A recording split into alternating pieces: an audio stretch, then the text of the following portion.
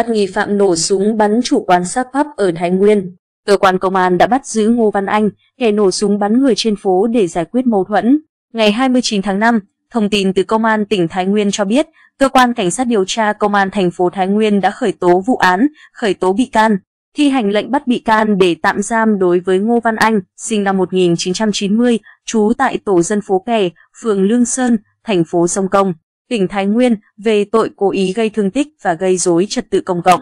Hiện trường nơi xảy ra vụ nổ súng. Trước đó, khoảng 21 giờ ngày 19 tháng 5, anh NVD, sinh năm 1984, chú phường Tân Thịnh, thành phố Thái Nguyên, có xảy ra xô xát với chị LPT, sinh năm 1989, chú thành phố Thái Nguyên. Sau khi bị đánh, chị T gọi điện thoại cho Ngô Văn Anh kể lại sự việc và nhờ Văn Anh đến gặp anh D để giải quyết mâu thuẫn cho mình. Ít phút sau sau, Ngô Văn Anh cùng một nhóm nam nữ, trong đó có chị T có mặt ở quán đêm đối diện quán sắp pub do anh NBD, làm chủ trên đường Bắc Sơn để giải quyết mâu thuẫn.